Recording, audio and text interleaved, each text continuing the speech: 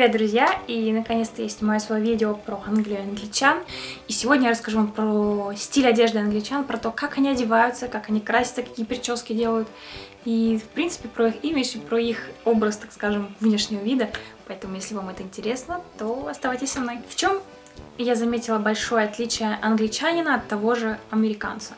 В том, что как одевается типичный среднестатический американец.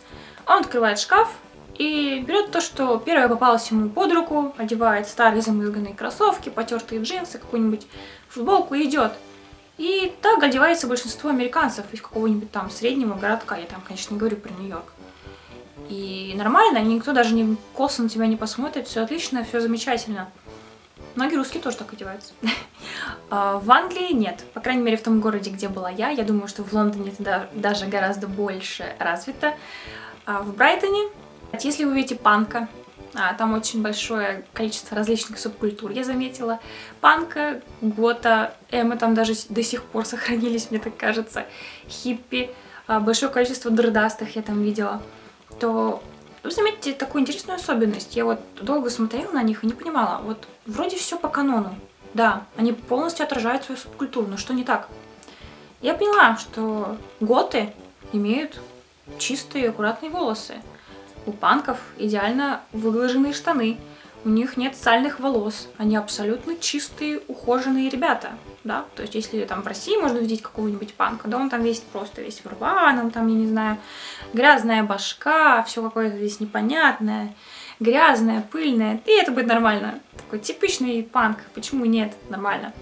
То нет, там все стильно, все с иголочки. Даже если человек одет во все рваное, оно рваное не просто так в разных рандомных местах. Оно все аккуратненько прошито, оно все очень красиво, все очень стильно, все сочетается. То есть это аккуратность, это аккуратность в деталях, аккуратность во всем. И мне это понравилось, самое интересное, потому что в то время, в 16 лет, я еще толком, у меня не было стиля какого-то в одежде, я даже не знала, как правильно одеваться.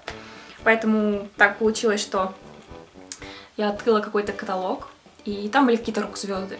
И там был, по-моему, Честер Беннингтон из Linkin Park, и он был одет а, в черную рубашку с коротким рукавом и в черные обтянутые джинсы.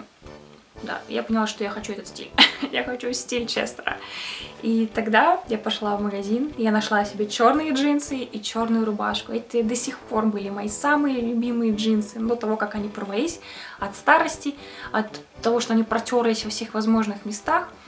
Но это были мои самые-самые любимые джинсы. Друзья, серьезно, вот бывают такие вещи, которые остаются с вами на очень долгие годы, и вы просто горюете и плачете, как крокодил, когда вы что-то когда вы их теряете. Да, увы и ах. Но, кстати, эта рубашка, она у меня жива. О, я вам сейчас ее покажу. Друзья, вот эта рубашка, если вам будет видно ее. Она немножко выцвела. Она уже не такая черная, как раньше, но это классная вещь. Я ее носила постоянно, не снимая. Носила ее из школы, и в универ.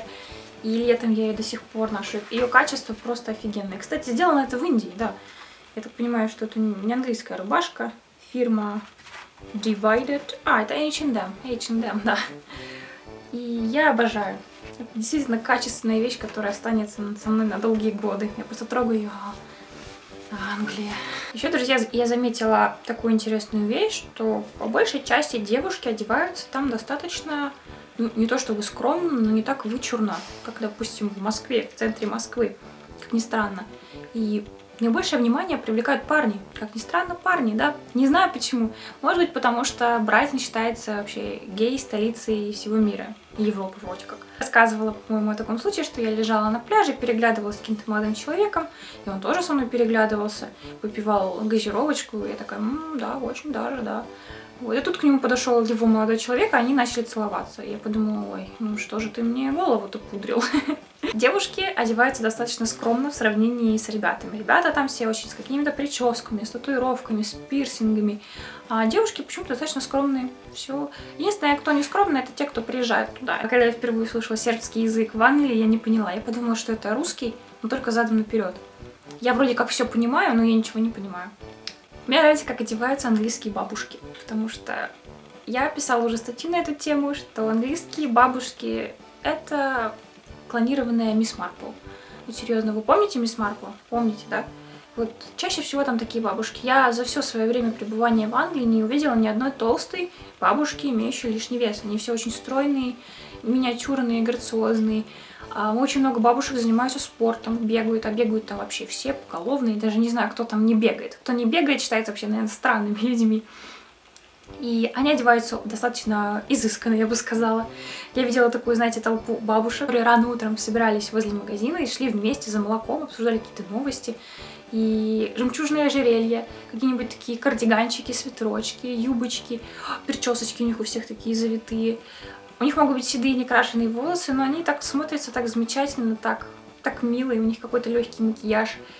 И здорово. Мне это действительно очень сильно понравилось. Если вы зайдете в какой-нибудь супермаркет, то вы заметите, что там большое количество кассиров мужчин.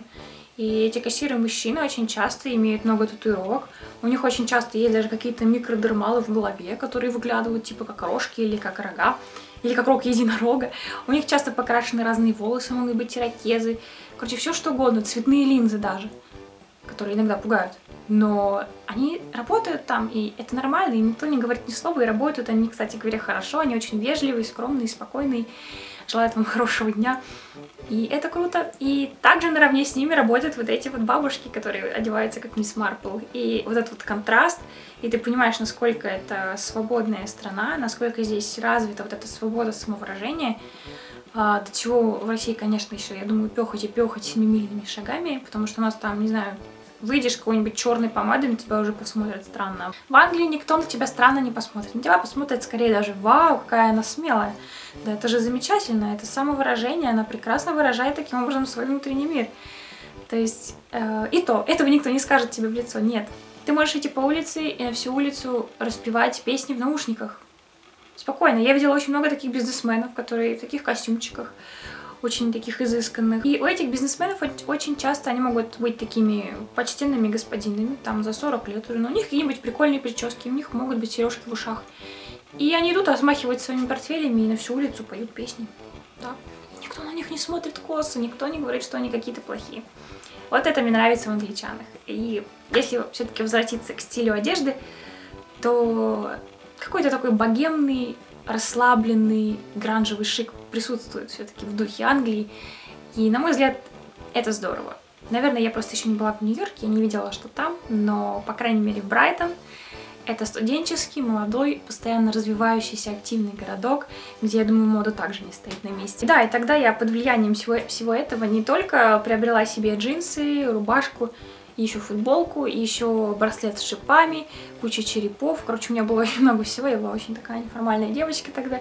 И у меня были тогда волосы рыжие, тогда еще рыжие, и отросшие корни свои вот примерно так. Они были ужасные и сухие.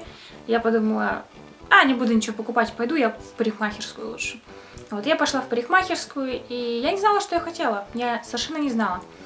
И пока я искала парикмахерскую, я увидела салон и там увидела за стойкой администраторшу, и у нее была такая прическа, боже мой, мне никогда такую прическу нигде не делали. Это была короткая стрижка, я даже, я не смогу вам описать, серьезно. Это была крутая стрижка. И я вот так встала, вот так вот смотрела на нее, зашла и сказала, я хочу прическу, как у вас. Вот, она так заулыбалась, и мне сделали, мне сделали прическу, как у нее. И да, ни в одной парикмахерской не делали мне такого чуда, что сделали мне тогда. И рука мастера была просто легчайшая. Я вообще не чувствовала, что мне что-то делают. Мне делали массаж головы, мне предложили кофе, и я была просто на седьмом небе. И заплатила я, кстати, не очень дорого. Все, зашла в магазин купила себе черные тени и тушь для ресниц. В 16 лет это была моя первая косметика, которой я стала пользоваться. Вот я была тени черные, так вот пухала их на глаза, без растушевки, без всего, и такая вся деловая, красивая. Я думала, что ходила. Да, это был мой первый такой опыт с макияжем. Поэтому, да, друзья, когда я приехала домой, я, безусловно, поменялась не только в плане изучения английского языка, но и в плане стиля одежды, потому что я стала более расслабленной, я стала более смелой. Если раньше я, наоборот, старалась как-то, знаете, наглухо закрыться, одеть какие-нибудь закрытые темные свитера, темные джинсы, и чтобы меня вообще никто не трогал, никто ко мне не лез, то после приезда в Англию мне захотелось вдруг как-то раскрыться, как-то проявить себя и получать удовольствие просто от какой-то классной одежды. От классной одежды, в которой я чувствую себя очень уверенным. Поэтому я думаю, в этом нет ничего, ничего плохого. Так что, друзья, если вам был интересен такой опыт, то, пожалуйста, ставьте пальчики вверх. И В следующем видео я, скорее всего, расскажу именно про характер, про привычки, про образ жизни англичан. И так что оставайтесь со мной, не пропустите. И пока-пока, до встречи в следующих видео.